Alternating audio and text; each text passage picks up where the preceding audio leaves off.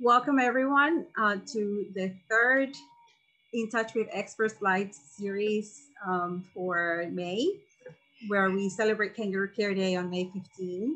My name is Jamila Jackson and I am the founder of Kangaroo Care Day.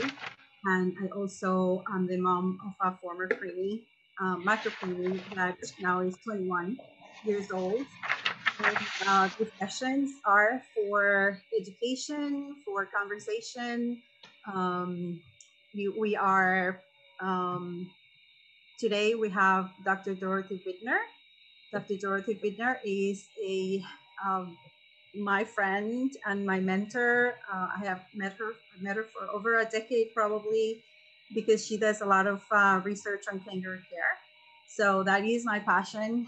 So I, I was able to meet her. She's also um, the president of the board. Is the president of the board of NIDCAP? Uh, vice president, yeah. Vice president of the board of NIDCAP, and I am a family, a family member of NIDCAP as well. So uh, please let me welcome uh, Dorothy Vittner and uh, take it from here. Yamila, thank you so much for the opportunity to talk a little bit about some of my research, but I am so appreciative for all the work that you do to support infants and families and to bring awareness and to um, your passion to have it be different um, for the parents that um, have infants currently in newborn intensive care or other hospital settings. I think your work has really been inspirational, and I'm super excited to talk with all of you who are here um, to hear a little bit about your experiences, but also share a little bit about some of the work that I've done over the last few years. I have no commercial or financial disclosures. I am on the NIDCAP Federation International Board of Directors, and I currently sit as the vice president of that organization, and also am a senior NIDCAP trainer and also an NNNS trainer. So some of what we're hoping to accomplish today is to talk a little bit about some of the neurobiological mechanisms of skin-to-skin -skin holding and really better understand some of the science around why this matters. Yet we really have a plethora of evidence to support skin-to-skin -skin holding. Skin-to-skin holding is one of the most evidence-based practices that we have in working with infants and families. And as we get started, a good friend of mine, John Chappell, who was a physical therapist by discipline, yet perhaps a philosopher at heart, would send me these handwritten notes of different topics that he thought I needed to be more aware of. And I thought this topic for today was especially fitting, right? There is no subject so old that something new cannot be said about it. And for me, when I think about skin to skin holding, some of where my passion comes from is the missed opportunities, or if you will, or the inconsistencies in terms of parent and infant experiences. So I'd like for us to just kind of step back for a minute. And this image of Shayna, who is a 33 year old young professional who um, had an infant who was born as a late preterm infant. And Cece was brought to the newborn intensive care unit um, because she was having some challenges with breathing. And yet, the incredible missed opportunity, if you will, in terms of supporting that non separation. And this image is when Shayna first was able to hold Cece skin to skin. And so I'm going to ask you just for a minute, how long do you think it took for Shayna to be able to hold Cece skin to skin? So Cece was born back in 2019. Maybe in the chat, just kind of let me know what your thoughts are. Immediately, in the first couple of days, in the first week, in the first month.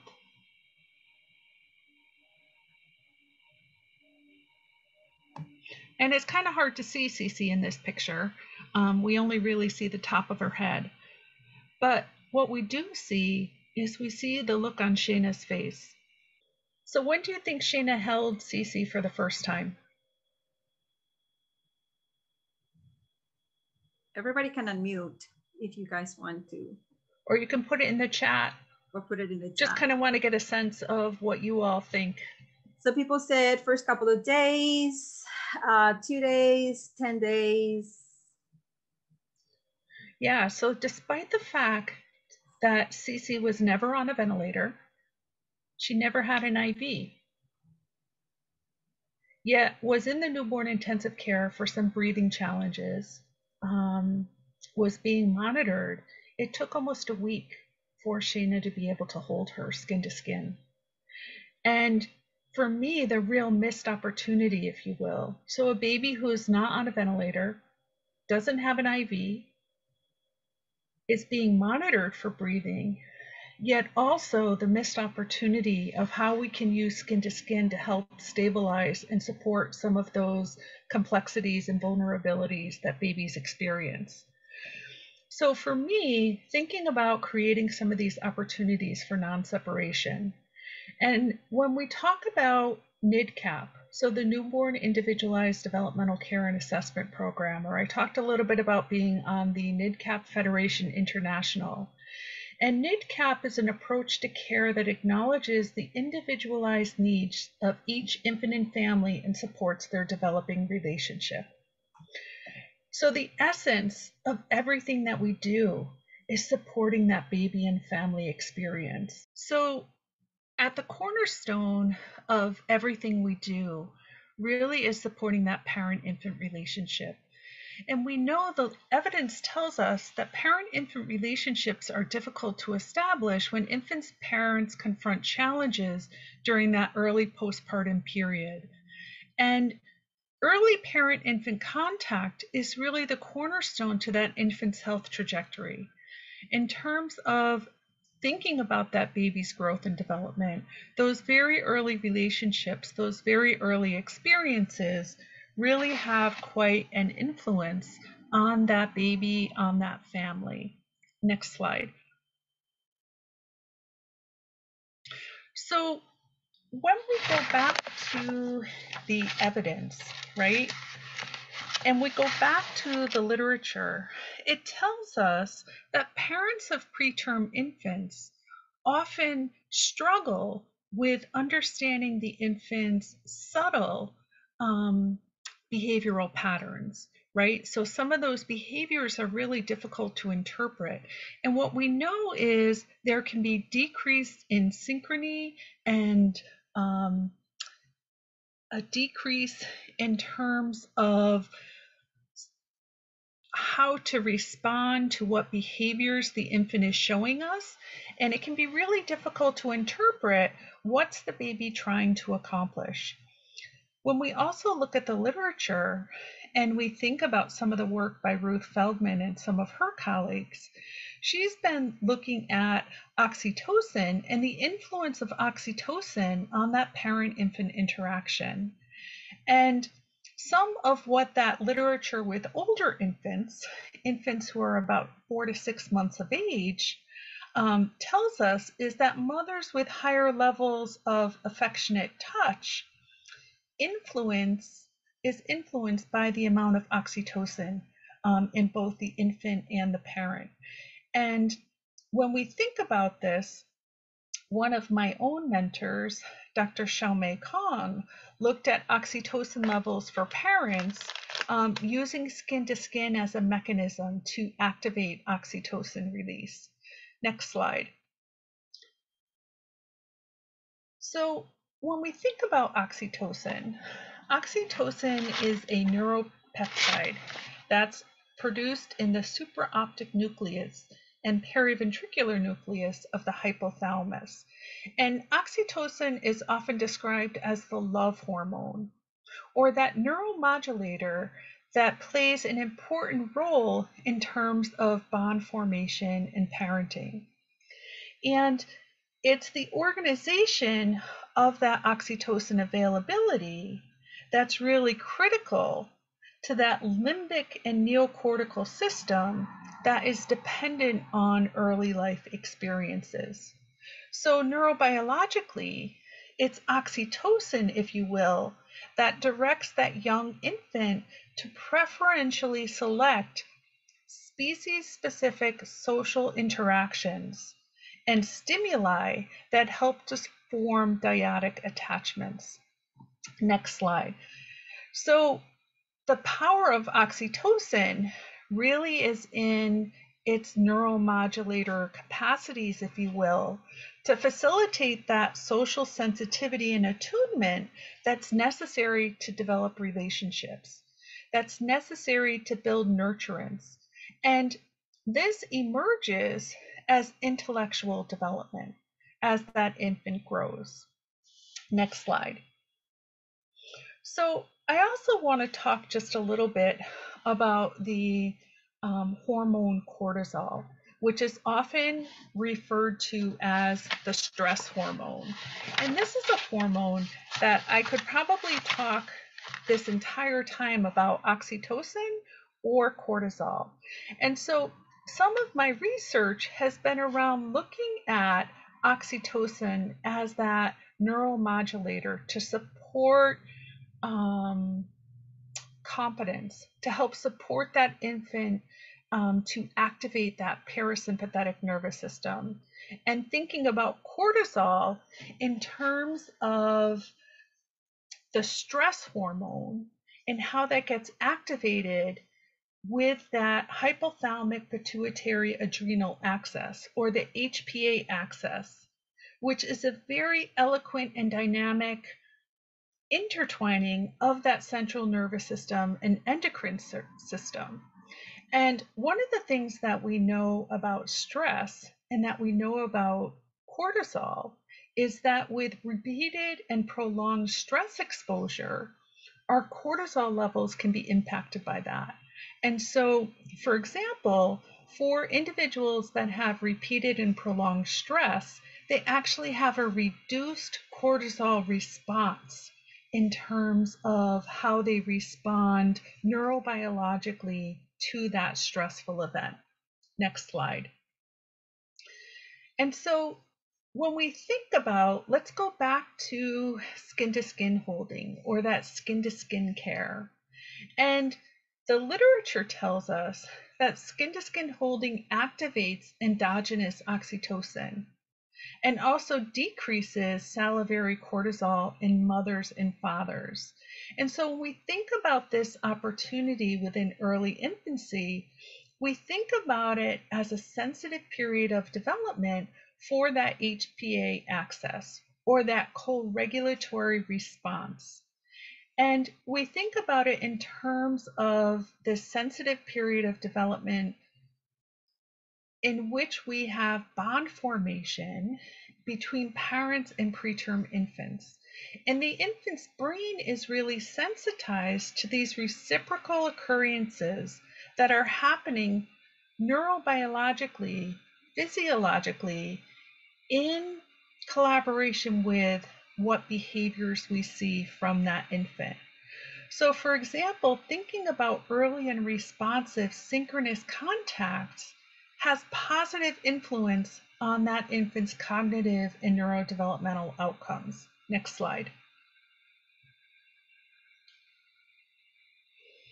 If we can create opportunities to build nurturance and trust within these early life experiences, that baby has a very different um, biology, if you will, than the infant who doesn't experience um, nurturance and trust. So when we think about that baby's emotional development,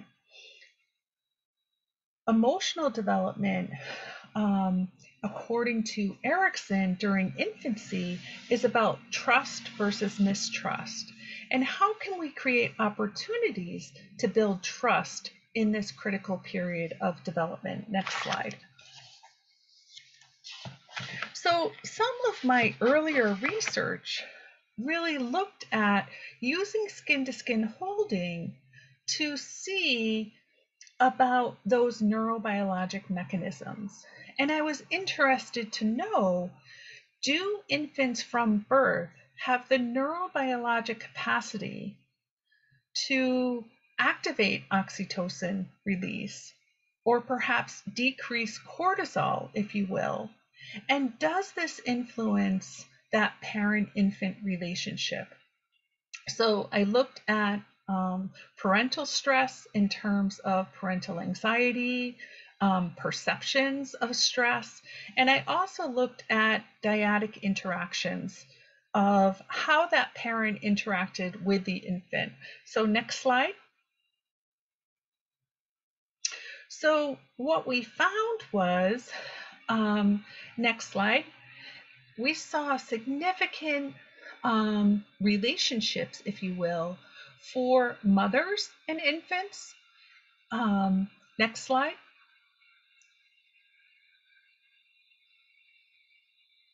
We saw significant relationships in terms of activating that oxytocin release during skin to skin holding. So, for mothers that were holding their infants skin to skin, that oxytocin was activated for the mother, but also for the infant. Next slide. And what we saw after skin to skin holding was that oxytocin level, although um,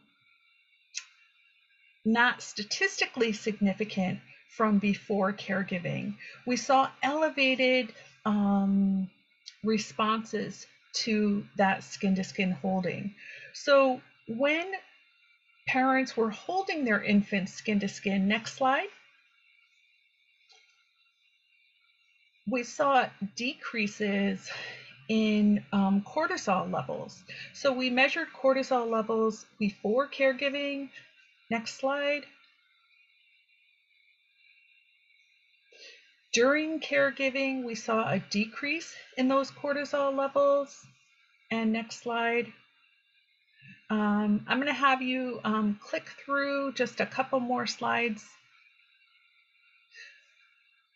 what we looked at here was the effect of skin to skin holding on oxytocin and cortisol levels. So these figures are the same data that we just showed in um, kind of words. We see that oxytocin was activated for both mothers, fathers, as well as for infants. Next slide during skin to skin holding. And what we also saw, if you go back to the last slide, uh, Yamil, what we saw was that infant cortisol levels were significantly decreased, whether that infant was held by the mother or held by the father. The baby had the same neurobiologic response um, to the skin to skin holding episode. Next slide. So we saw that parent and infants with increased oxytocin levels had more synchronicity and responsiveness in their interactions, and rather significantly.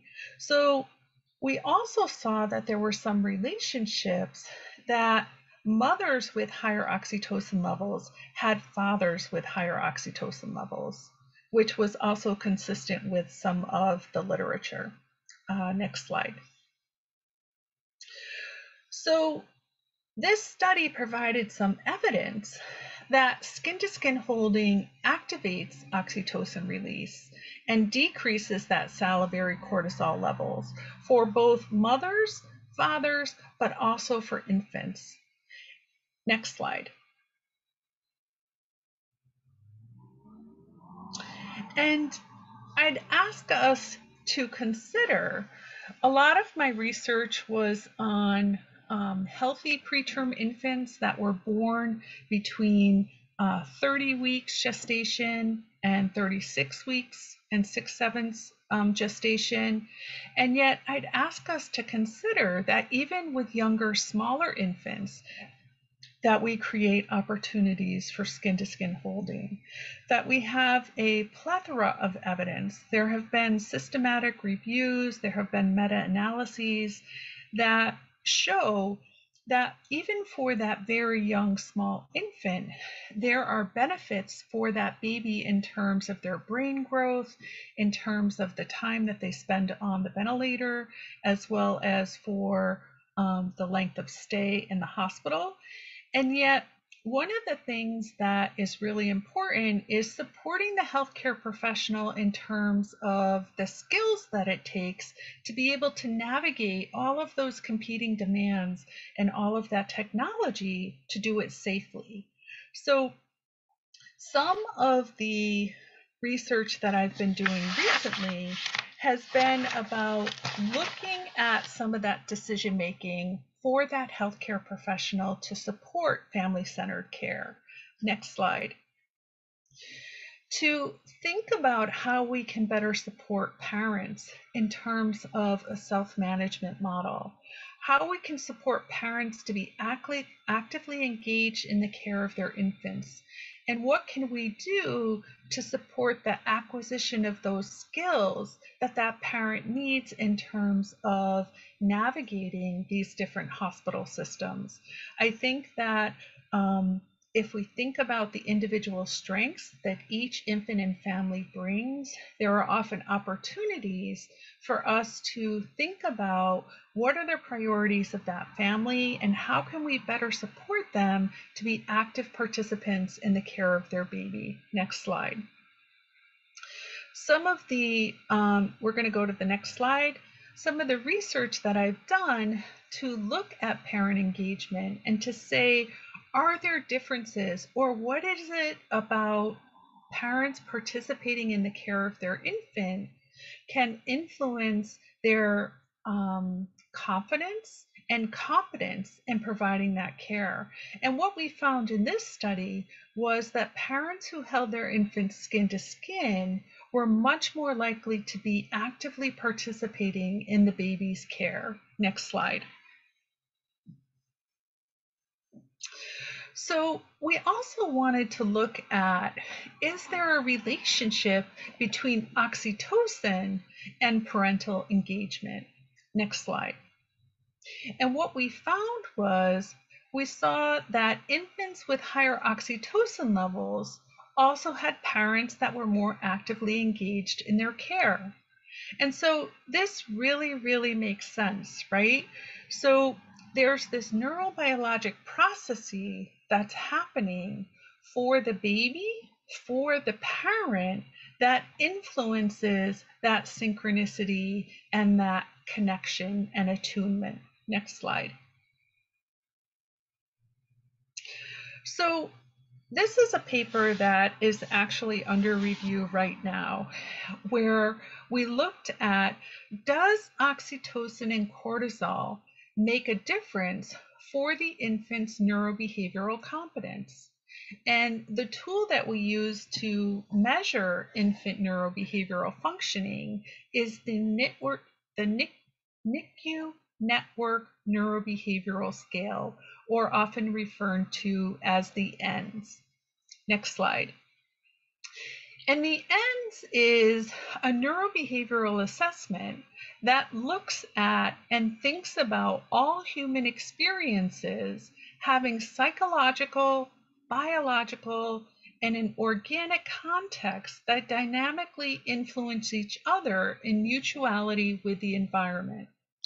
So the NNNS is some 115 items that can be clustered into about 13 summary scores. And we know that the NNNS is correlated to predictive reliabilities in terms of helping us to identify infants who are most at risk for neurodevelopmental delays. Next slide. And some of what we found with some of this work was that infants who had higher oxytocin levels were significantly correlated to higher self regulatory scores. And so, what that means is that babies with higher oxytocin levels were more competent in terms of meeting their own needs of self regulatory behavior. And when we think about self regulatory behavior, that could be anything from sucking on their hands, it could be self regulatory behavior in terms of opening your eyes and interacting with um, people who are talking with you. We also saw that when an infant had a lower cortisol level, that they needed less support in terms of those handling scores. So there was a strong correlation, if you will, to infants with lower salivary cortisol levels needing less support from that um, person who was interacting with them. Next slide. Uh, we're going to go to the next slide. We also saw that those salivary cortisol levels were strongly correlated to increased stress behaviors and also increased behavioral disorganization with infants. Next slide. So research suggests that as preterm infants mature, they remain increasingly disadvantaged on many neurodevelopmental outcomes. And it's that increased acuity and complexity of care within the newborn intensive care that creates challenges for healthcare professionals who are attempting to navigate some of these competing demands. Next slide. So, the opportunity is within that parental touch. And we know that skin to skin contact is a very different sensory experience in terms of the way that that parent feels, the way that that parent smells, the way that that parent um, sounds to that infant. That infant can hear the heartbeat through the parent's chest. And we know that skin to skin contact has the potential to reduce some of the adverse consequences of prematurity. We have um, evidence to support this. Next slide. So it's throughout the lifespan that that oxytocin helps us to modulate that social sensitivity and it helps us to modulate some of our reactivity to stress. And we know that infants that have higher oxytocin levels, um, the oxytocin helps to activate that parasympathetic nervous system to help that baby cope with some of those stressful experiences. And we know that when we provide opportunities for skin to skin holding within this critical window, we can provide opportunities for nurturance and reciprocal trust. That we don't need to tell parents how to interact with their infants when their infants um, are being held skin to skin. I know that when I work in the clinical setting, and even I was working on Sunday afternoon, and um, a parent was holding their premature baby for the first time skin to skin. And they were ever so reciprocal in terms of that caressing, that touching, that supporting that infant in terms of steadying out that breathing. And as a healthcare professional and as a nurse, I didn't necessarily need to teach them how to do that. They just needed to trust themselves and trust the baby. And it's these neurobiologic processes that are happening that help to support some of these reciprocal interactions. Next slide. So Despite some of the advances in newborn intensive care, premature infants still remain at risk for adverse neurodevelopmental outcomes. And we really can use skin to skin to help support some of this neurobehavioral functioning. So I pose to all of you to think about using skin to skin each and every day that you go into the nursery as an intervention to better support that infant in terms of their competence to help steady out that breathing. So, if the baby's having a bad day, maybe we encourage skin to skin holding instead of using skin to skin holding as um, for only stable or healthy babies. Next slide.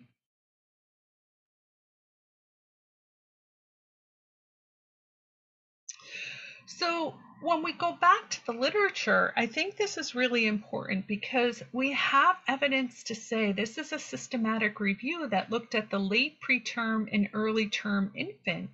And it really helped us to understand that these infants who are born late preterm really are at a risk for poorer outcomes that persist into adulthood. Next slide. So even with these infants that we would consider to do well, um, the babies are at risk for neurodevelopmental deficits. And so do infants that are born late preterm or early term um, do they have opportunities for skin to skin holding as well? And that goes back to next slide, that image that I showed you where we started out the presentation in um, the missed opportunity, if you will, for these infants who come into the newborn intensive care and may not be the sickest infant in the unit, and yet they still miss those opportunities for skin to skin holding. Next slide. And it's that executive functioning or the way that that frontal lobe works in the brain that really helps us to understand some of these neurodevelopmental delays. Next slide. So I'm going to ask you to consider that all infants, regardless of their medical complexity, so whether they have complex heart disease, whether they have prematurity, um, whether they're born full term, whether they're born early, that they have repeated and daily episodes of skin to skin holding. Next slide. I think um, some of my earlier research around trying to understand nurses' experiences in supporting skin to skin holding. And I think one of the things that I learned early in my career was that nurses have good intentions to support skin to skin holding, yet often struggle to meet those competing demands to use skin to skin holding in each and every day. And some of this meta ethnography, some of what we found was that it really depended on the complexity of the infant or supporting the safety and efficacy of whatever technology that infant needed with the competing demands of um, supporting parents and supporting um, infant experiences. Next slide. So this is a group of nurses over at WakeMed um, Health Systems over in Raleigh, North Carolina. And just that whole experience about supporting um, families to be actively participating in the care of their infant. And this is an image of an infant um, on the day of discharge, and he was leaving the unit. And you see that investment in those healthcare professionals, those nurses, in that parent's experience. I'm going to encourage you that what you think gets translated into your hands, how you um, think about what you should do, what your choices are. Um, each and every time that you go into the into the work makes a difference for this baby and family. Next slide. And I want you to know that it makes a difference for not only the baby, but also for the family. And so this is a picture of Jordan, who was born at full term, but had some medical complexities and was in the intensive care unit for many, many weeks and really struggled with um, uh, feeding, struggled with um, state regulation, and yet how we support families to be active participants um, with the care of their infant. This was Jordan when she came back to the follow up clinic um, for her nine month follow up visit. So it makes a difference. What you do, how you do it makes a difference. And I'm hoping that we can open up the conversation. Um, and I appreciate your patience with some of the technology glitches, but I think we hopefully worked it out and didn't go too far over. Um, if you have any questions, any nitty gritty questions, I'm happy to answer those questions now. I'm also happy to share any of this information with any of you um, later if you have more specific questions. So I'm going to just open up the floor for questions and discussions.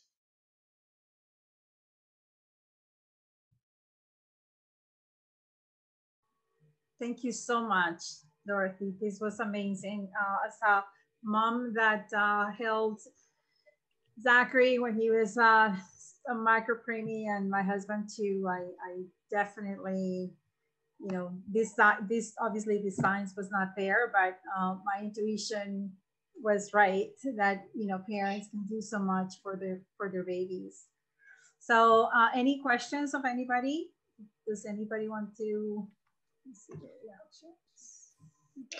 I think also too when we think about some of how I met Yamile was around um, nurtured her work with nurtured by design, and um, in my research um, we used the Zaky as a as a tool as an intervention to help support some of that safety um, for the infant, and so one of the really great things about the Zaky is its ability to secure different medical tubing, medical devices in a very um, purposeful way um, to because it is really complicated and these babies are really really vulnerable and what you do does make a difference. And so i'm not advocating that we be willy-nilly about it but i do think we can be much more proactive in terms of incorporating it into our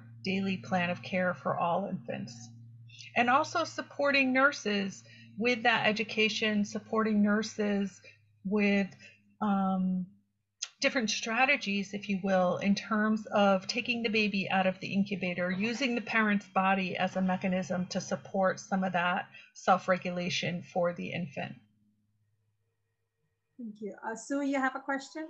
Yeah, um, Dorothy, in your research, did you look at the extremely low birth weight? I'm talking kids under 1,200 grams because um, that's come up. I'm working with the Florida Perinatal um, Quality Collaborative right now, and we are actually doing what we're calling the paired initiative, and it's for family-centered care, and our measurement is actually skin to skin.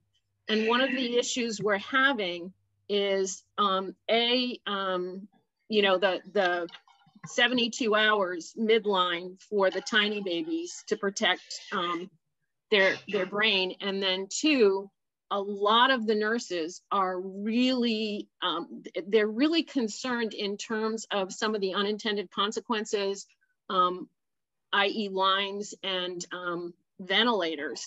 Um, and we struggle with trying to say look there's nothing in the research that supports that they can't be you know with mom or dad or a caregiver. And I'm, I'm just wondering did you find any of that with your research and how did you approach it yeah, so you're bringing up really great questions. And we actually, there's a couple of papers that have just come out um, recently looking at this um, specifically. And I have worked as an infant developmental specialist for the last 30 years in newborn intensive care, as well as in the pediatric intensive care unit. And thinking about the incredible amount of training that it takes to support nurses and clinicians to be able to practice some of this is not trivial um, because there is a lot of technology and you do have to assure that the lines are secure, that the baby is intubated, because it does not go well if the baby extubates during that opportunity for skin to skin holding. And so I showed you a picture of a group of nurses from WakeMed. And in my time in working at WakeMed, it was inspiring that they had as a part of their quality initiatives that they support skin to skin holding within 24 hours for all infants. And then they took that quality initiative one step further and said, we want to have and encourage and support skin to skin holding within that first eight hours um, for even very young, very small, very um, sick infants. And so I think there is beginning to be some literature out there. But Sue, what you're really talking about is that kind of practical application piece of how do we support the healthcare team to translate some of this content into into clinical practice. And there are some interventions that um, can help with this but i think we also need to acknowledge that we have to integrate this into our nursing competencies. We have to integrate this into our nursing education into our orientation processes of sometimes it takes two, three, four nurses, a respiratory therapist, other clinicians at the bedside to be able to safely um, transfer that young small infant to that parent's chest. And it's not trivial. Does Thank that answer you. your question at yeah, all, Sue? It, it, did. Thank you very much. We we actually have started um, using. I don't know if you've seen it, but Mary Coughlin in her evidence-based um, book um, actually has competencies uh, both for the parents and the staff um, for transfers of the infant to skin to skin care. And so we're we've started. We've talked to her, and we're looking at using those now with some of our um, some of the hospitals are using that and our and I'm glad you mentioned respiratory therapists because we're we're now working to get them on board because we've found that some of our biggest obstacles within the initiative have been respiratory therapists. Um, getting them on board because they're the ones who are so afraid of the extubation piece. Oh, absolutely. And it's terrifying for parents, right? So mm-hmm. I think of um, you know, a couple weeks ago, I was working in the nursery and a baby was born at 34 weeks. And so we all would think, wow, this is a really big baby. He's about, you know, uh, three and a half, four pounds. He's doing really well. He might be on a little bit of CPAP. But to that parent, that baby is terrifying. That experience is terrifying.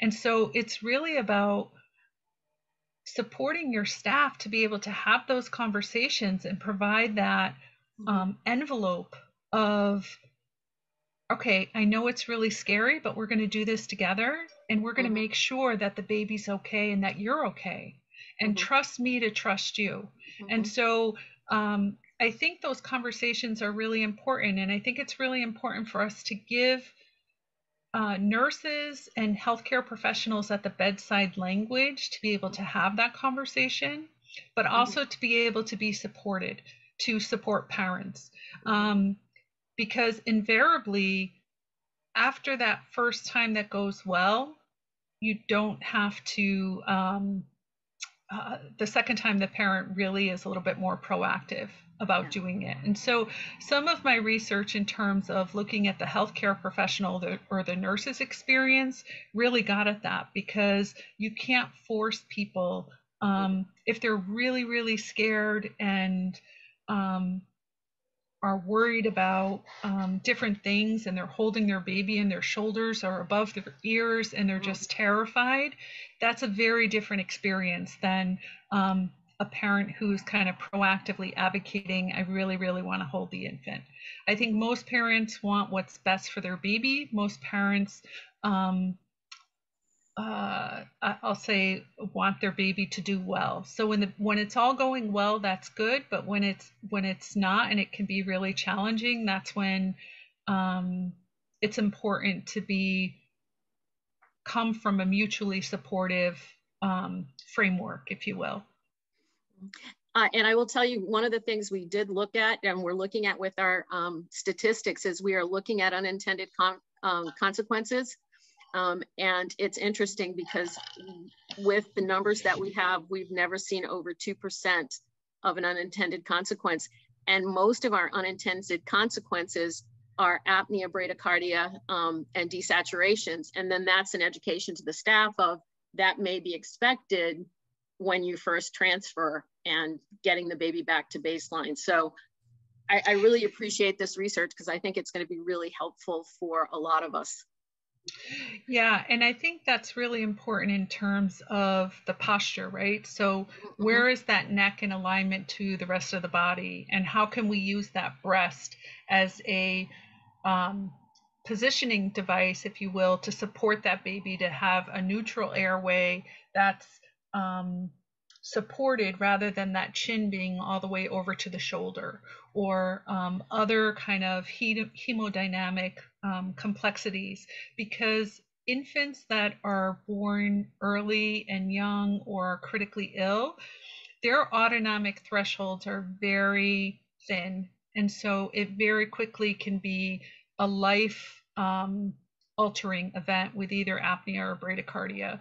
Um, and we really have to assure that we do this um, safely, if you will, and we we attend to all of that. So I advocate for some of this work in the NICU. I advocate for this work in the cardiac intensive care unit. So thinking about how we can humanize care, if you will, right? So thinking about the human effect of who's this baby as a person and how can we support their experience experiences to build trust, regardless of the technology that they need for those various disease processes. So it's complicated, but it's also really possible.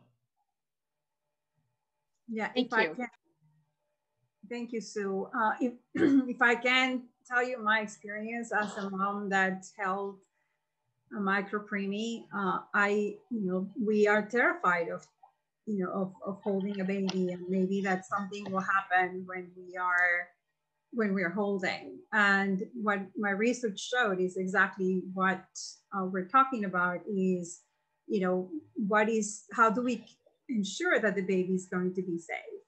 Uh, we know that the moms are uh, sleep deprived, we are terrified, um, we want to hold our babies, but if we feel or somebody tells us that by holding we're going to hurt the baby, then we're not going to hold the baby, obviously.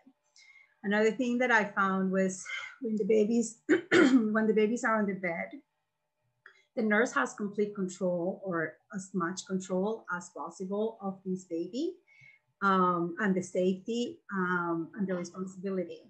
But when this baby goes to the chest of a parent, they have to give the control to someone else. And that someone else, like I said, is you know is sleep deprived. We're terrified. So that's why I made the Zaky sack that Dorothy mentioned before, is to get the, the moms, you know, the, to hold that device that will hold the weight of the baby, that will hold the position of the baby, and we'll give that control back to the nurse where the nurse makes sure that the baby's okay before she goes away and is not you know terrified that the mom is going to fall asleep in a split second and put his baby in danger. So um, does anybody else have a question or any comments or? Hi yes i would like to ask a question. My name is iris. I'm from israel. And I would like to, hi, I would like to ask about, I come from a developmental care oriented NICU. I'm a NIDCAP certified. Uh, and I would like to ask about your experience with uh, uh, skin to skin during the first three days of life of extremely low birth weight babies. Uh, our challenge is not respiratory therapists, not either not our willing, willingness to do it because the nurses and the physician are completely pro but uh, our main problem is uh, thermoregulation mm-hmm. and also umbilical arterial line and vein, vein lines. So this is my question.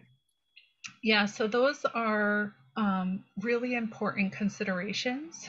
We know that the mother's breast um, the evidence tells us that the mother's body and breast will warm up and will cool down to keep that baby at a constant temperature.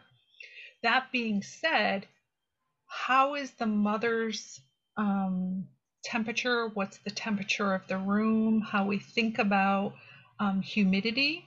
All of that, um, because that baby's skin is really vulnerable in that critical window. So that's all really important considerations, if you will. I think being innovative, if you will, I think um, there are approaches that you can use to support um, that transfer of using that mother's body and breast um, as a mechanism to help steady that baby. Um, I think also to securing those lines, right? So in that transfer of picking the baby up, if the mother is right there at the incubator, if you will, or yeah, that, that this. kind of like warming table, um, and then we can have someone whose total responsibility is to assure that security of that line. And that's where I talked about sometimes it takes two, three, four clinicians. Um, in the unit that I'm thinking of, we would each, um, someone would have a responsibility for the ET tube, someone would have a responsibility for the line, someone would have a responsibility for the mother, and someone would have a responsibility for the baby to make sure that, you know, the arms, the legs, the whole body is um, supported. All of this makes a difference. And it can be really complicated, but I'm telling you that it's actually um, really worth it. I think also, too, what I've seen with healthcare teams is that when you have really good intentions, um, you figure out how to get it done. Um, I'll tell you in the un- unit that I work now, it's really a priority that babies do not self extubate babies don't extubate during skin to skin holding. You know, sometimes we struggle if a baby's on a certain ventilator that the the circuit is really rigid and it's only a certain height and then we don't have, you know, the mother has to come up to that height or do we have chairs that are appropriate and comfortable for her to recline in? If we have a mom who's had a cesarean, is what what's her mobility like? Is she able to move? How what's her own process that's happening? All of this is really complicated. It's not um, trivial. So I know that I've kind of said things at a superficial level, but it's also it takes an incredible amount of thoughtfulness to be able to do it accurately and appropriately. And that's what I'm advocating for. So I appreciate your question, Iris. Thank you. Thank you. Thank you, Iris. Anybody else? So I see in the chat that someone also said we do a timeout with skin to skin transfers. Um, and we do standing transfers as much as possible, which I think are both incredibly um, thoughtful and great ideas and would be really in support of all that. What is a timeout? Skin to skin? So a timeout is just a pause and checking in the right baby, um, the right procedure, uh, at the right time with all of the right equipment. And we're proactive in terms of doing that um, to be sure that we're all on the same page in what we're trying to accomplish. So I know in our hospital we do timeouts before we do different medical procedures. Um, but we do not do it for a skin to skin transfer, which would actually be, I think it's a great idea. Is that what you meant, Shock?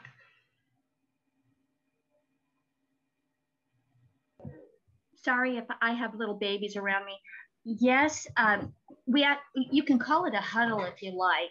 Everybody gets assigned a role and everybody's in agreement. And we it, and the parent is involved as well in this uh, timeout huddle moment before we actually do. And everything is agreed upon before we actually move the baby with and mom I, and dad. And I think I totally said your name wrong. Is it Jackie? Yes, it is. thank you. and thank you so much for your input. We are right in the middle of trying to make improvements with kangaroo care in our big unit. And uh, we struggle with all the things that you're talking about. Actually, our small babies are the ones that get held most, and our very stable growing babies, they get, you know, swaddle held or whatever. So, yeah, they once babies get dressed, we forget about um, using skin to skin, right? It's a real um, challenge in many units. Um, I also just wanted to put a plug out there. I'm currently doing a research project um, looking at nurses' experiences um, in the newborn intensive care unit, um, supporting families. So if you're interested in participating in a qualitative um, research study, please reach out to me. I would love to talk to you. It's just about learning about your um, experiences supporting babies and families.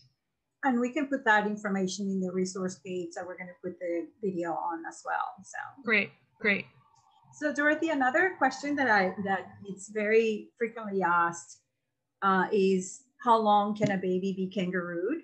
And you know, like sometimes it's like, well, you already did one hour in the morning, so you cannot, we can't do anymore. Or the mom holds in the morning, so the dad cannot hold at night. Or you know, the baby, mom is holding, she needs to go to the restroom, the baby goes back, and then they say no more, no more kangaroo care for the day. What what what is your suggestion and your research? So there's some um, units, there's some hospitals that the baby's held 20 to 24 hours a day. So from my perspective, the ideal incubator or the ideal environment for that baby is their mother's chest that neurobiologically that baby expects that mother's body and breast um, from birth. And so I think that as we think about this, and also too, what's happening in Europe is very different than what's happening here in the U.S. Mm-hmm. Mm-hmm. Um, and in different parts of the world, we use skin to skin holding much more, right? So where did skin to skin holding come? It came from South America. Why? Because they didn't have enough incubators to be able to keep babies warm, and their mortality rates were really high. And so I think the more the better. I don't think there's a magic number. We have evidence, overwhelming evidence in terms of meta analysis that were done 15 years ago. We also have meta analyses that um, were done more recently that support um, repeated and prolonged skin to skin holding for all infants. And I encourage parents, even when they go home from the hospital, to use skin to skin every day.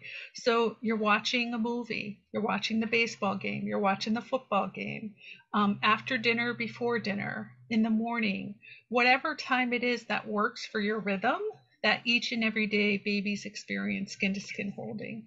And this is for all infants, not just young small infants, but even mm-hmm. healthy term infants. Yep. There's so much evidence to say it makes a difference for that baby's brain, for that baby's development that lasts into adulthood, actually. Mm-hmm.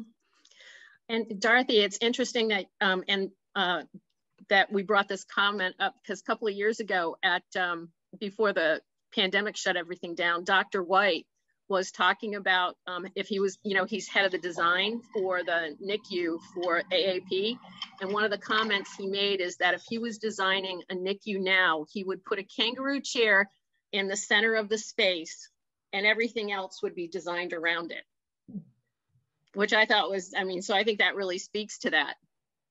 Well, I think it's also um, sometimes we like technology and we like um, we spend a lot of money on incubators. Um, I remember, gosh, 20 years ago, being shocked when an incubator cost $300,000 um, and all of the technology, which is absolutely understandable.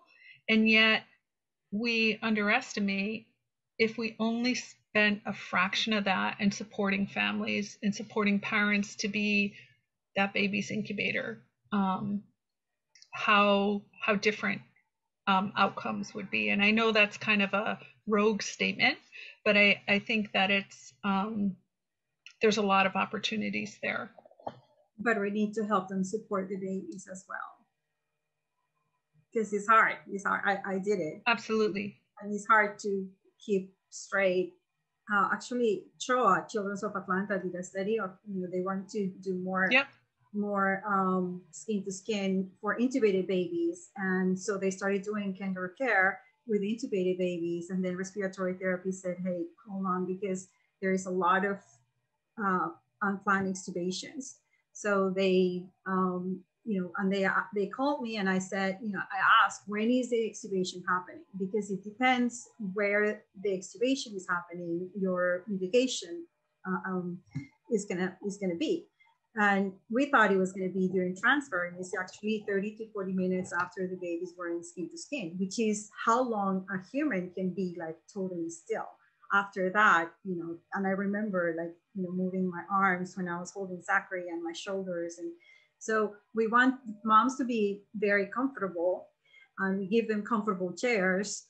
And, but we tell them, you, know, you need to be the position here, this here, the alignment here. Um, and then um, you know, we want them to, to be still and naturally hold your baby.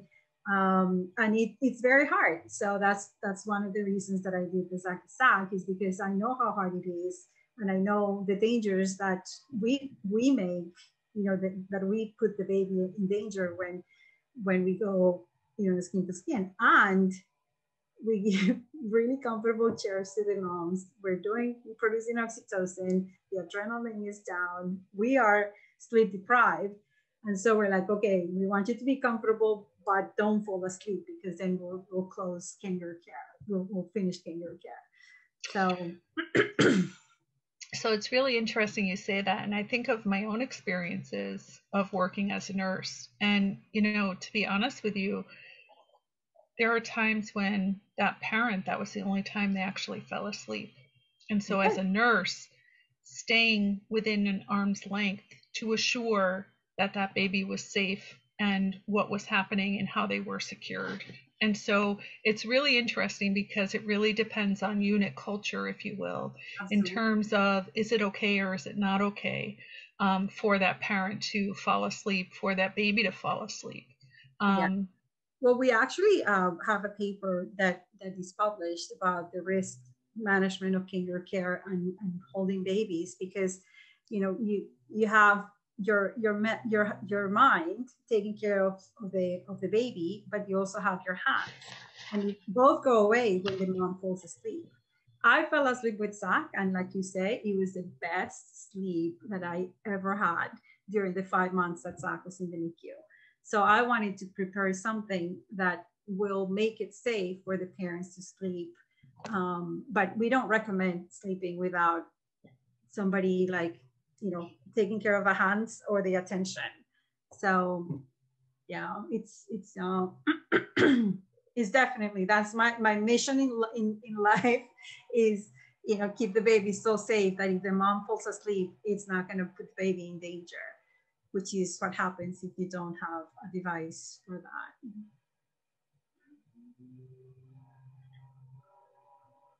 Any other questions, comments, experiences, things that you have experienced at the hub? Skin to skin is a great number. Yes, skin to skin. There is uh, research that uh, is doing is being done by Dr. Cleveland in San Antonio and they were doing skin to skin for NAS babies. And um, they asked moms, How do you feel? And, and it's so powerful. Like one of the moms said, I feel like my baby is forgiving me, um, which you don't get that with any other intervention other than skin to skin.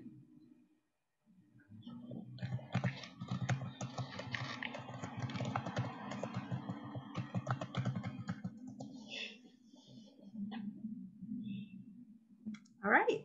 Anybody else? Gretchen says many, many thanks to Dorothy, an expert who is practically and incredibly forward thinking. I totally agree. Anybody else? All right. Well, this concludes our uh, In Touch for ex uh, with Experts uh, with um, Dr. Dorothy Vittner. We will have the recording for the three sessions uh, next week. And um, and we will have some resources of things that we have talked during the sessions. So uh, thank you. Thanks everyone for attending and I'm going to start the recording.